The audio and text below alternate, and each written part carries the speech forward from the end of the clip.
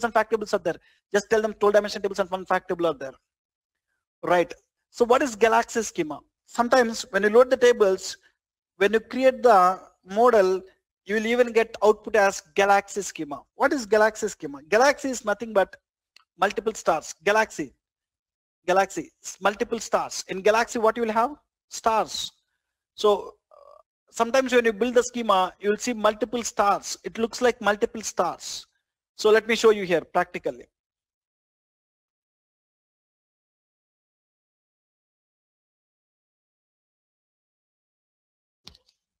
Two fact columns and multiple dimension tables, Galaxy.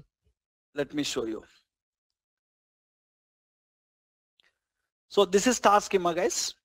In star schema, so this is fact table. Remaining all are dimension tables. Time table is a dimension table. Customers table is a dimension table. Products table is a dimension table. Store table is a dimension table. And sales is a fact table. Every dimension table is directly linking with the fact table. That is the reason we call it a star schema. And this is snowflake schema. In snowflake schema, few dimension tables, minimum one dimension. If you see brand dimension table, it is not directly linking with the sales table. It is linking through another dimension table. So then it is a snowflake schema. In minimum one dimension table, if it is not directly linking with the fact table, it is snowflake schema. And the next one is fact constellation schema or galaxy schema. Galaxy schema, another name is fact constellation schema. So look at this. This is one star. This is another star. This is another star. So look at this. This is one star, one star, and this is another star. This is another star. Collection of stars is nothing but galaxy. It looks like that. In galaxy schema, you'll have multiple fact tables. Take an example. I have a manufacturing unit. I have a car company. I'll manufacture the cars. I'll sell the cars. I'll manufacture the cars. I'll sell the cars. All the manufacturing related data will be there in this table. All the sales data will be there in this table.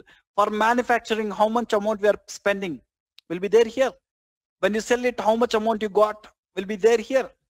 And so you will have an employee table in the company. In your company, you will have an employee table. In that employee table, employee table or staff table, in that staff table, there will be employees who are working for manufacturing. There will be employees who are working for sales. Right? So sales team will be there and manufacturing team will. There will be some product table. What are the products you are manufacturing? Only that products you will sell. There will be one timetable for what time period, what, what products you are manufacturing. For the time period, what products you are selling. You will see a schema with multiple fact tables and some common dimensions tables that are shared with these fact tables.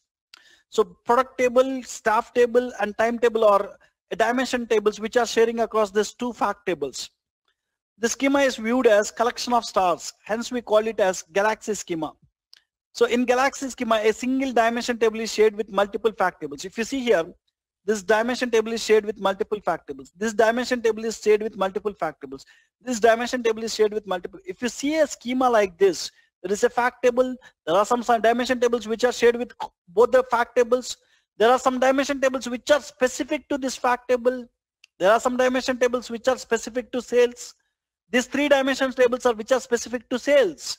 These two dimension tables are which are specific to inventory. These are some common dimension tables. When you see a schema like this, we call it as galaxy schema. So basically, it will it will become complex, guys. When you build the galaxy schema, the, the schema will looks complex. So instead of building the schema like this, these days we'll go and build two, two star schemas separately. You can split it into two stars. This schema into one star and this schema into another star, I can split it. So there are some people who can combine both of them and build a galaxy schema also. It is not that they want to go and build two star schema separately. They can even build galaxy schema, right?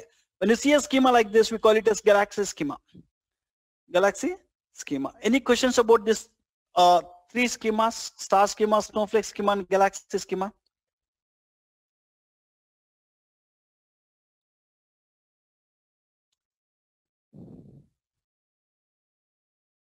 In Galaxy, in Galaxy schema, if you want to start schema means we need to prepare two data sets, right? You need to prepare two separate data sets, correct. Yeah. Yeah. And each and every time we, when we prepare a, a data set, we have to combine those t tables, right? Uh, if we want to create a star schema from a snowflake schema. No need. See here, when in this image, when you split into two, it will be a star schema only. So when you take this is this this tables, this is fact table. The six dimension tables are linking directly. When you consider the six tables, it is a star schema only. It is not a snowflake schema.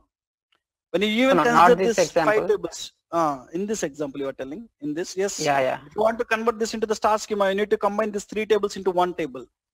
And you need to Yes. directly link the table to sales table. So each and every time we, when we create visuals, we have to combine those three tables. Why you need to combine it?